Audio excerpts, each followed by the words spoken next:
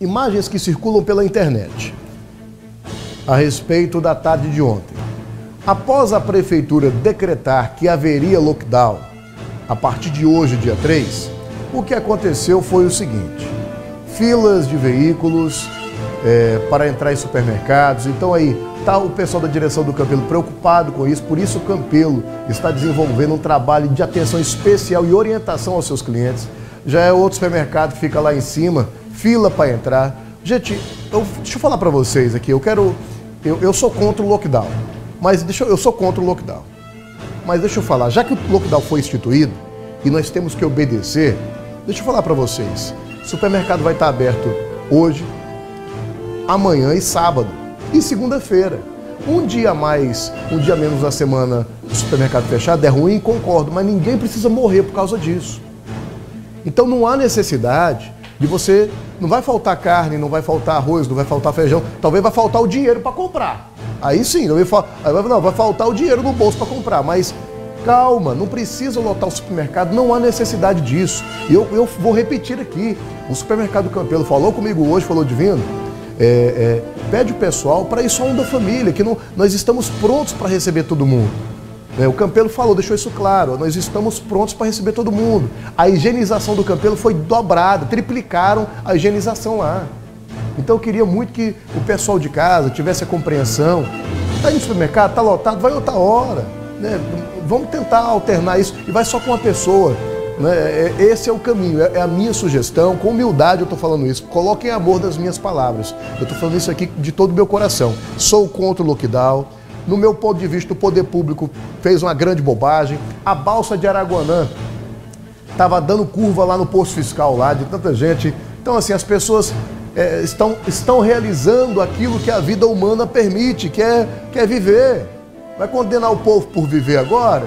Aí tem um monte de gente que critica, cheio, muito ácida, muito valente, muito cheia da razão mas na verdade são hipócritas. É hipocrisia, porque a pessoa ela queria estar no lugar deles lá na praia do Araguaia, não está na praia porque não tem ninguém para poder ir. Se não estaria lá também, ou não tem dinheiro para ir. Se tivesse dinheiro, ia. E se tivesse alguém que convidasse, ia também. Agora, como não tem ninguém que convida, não tem dinheiro, aí fica falando mal de quem está lá. Pô, meu irmão, para também, paciência, né? E outra, vou, dar, vou falar aqui, fazer um exemplo. Eu querendo encontrar um exemplo que as pessoas entendessem o que eu quero dizer a respeito é, dessa situação que estamos vivendo e tentando levar um pouco de humor também para vocês. O poder público querer tirar a natureza humana, querer tirar o direito de confraternizar, de estar perto, querer limitar tudo isso, é o mesmo que um pai, um pai, olhar para sua filha e falar: minha filha nunca vai namorar. Minha filha Homem nenhum vai abusar da minha filha, vai, vai encostar meu, minha princesa. Esse ciúme eu posso dizer porque eu sou pai de quatro filhas. E por mais que as duas mais velhas estejam já né, com 20 e poucos anos, 20 anos de idade, as duas mais velhas, né, já, já exercem, a, já são adultas, eu posso dizer assim. Eu tenho as minhas pequenas em casa, eu fico olhando, meu Deus do céu, mas será que vai vir um rapaz aqui carregar minha filha para namorar? E aí? E aí, meu amigo, vai acontecer! Acorda! Ninguém quer não, mas uma hora abraça e olha, ela vai te trocar pelo cara. Tu que é pai vai ser trocado. Eu fui. Você acha que não vai? Meu pai foi. Minha, minha irmã tá onde? Tá lá em Palmas do meu cunhado, aí. Não tá com meu pai lá em casa, não. Seu divino tá lá. O que, que adiantou? Pode ser valente, pode ser zangado. Então, o poder público fica colocando coisas impossíveis. O pessoal não quer, não vai comprar bebida alcoólica. Como não vai? O pessoal compra até droga, meu filho. O pessoal compra maconha, que é proibido.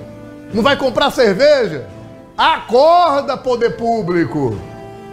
Agora, me diga aí, se o poder público tem dificuldade em fazer fiscalização, aí é outra história poder público tem as ferramentas inteligentes para fiscalizar. Pode contratar pessoas sem licitação, pode contratar pessoas sem concurso público. Não contratou um monte de fiscal esses dias na rua aí? Não tem um monte de fiscal rodando na do João Lima, chamando a atenção do povo que está sem máscara, isso, aquilo, outro? Aquele pessoal não é concursado, não. A polícia militar está fazendo um papel de é, fiscal de postura. É papel da polícia militar? Não. Mas o, comandante Valdeone, que tem um coração desse tamanho, no intuito de ajudar, está tentando fazer. Aí, como se não bastasse essa loucura, vai ter o concurso da PM agora domingo.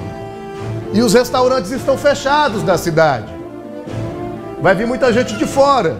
Os restaurantes estão fechados. A não ser aqueles restaurantes da BR-153, que estão em postos de gasolina. O que, que o poder público fez mais uma vez? Vai lotar esses restaurantes. Vai estar tá todo mundo amontoado um em cima do outro, porque o restaurante do centro da cidade não pode funcionar. Porque os restaurantes que trabalham para poder diluir esse povo não podem funcionar. É difícil entender. Será que tem que desenhar que quando eu restringo, eu aglomero pessoas? É isso? Quando eu restringo funcionamentos, eu coloco todo mundo junto. Se a ideia não aglomerar, o poder público deu um péssimo exemplo né, de gestão. Péssimo, péssimo. É, é, é lamentável, né? É lamentável a falta de, de raciocínio mais inteligente para poder diluir as pessoas e dar a elas o distanciamento social, que é o que se prega. Dessa forma, não há distanciamento social. As pessoas estão se concentrando e ficando mais aglomeradas. É isso.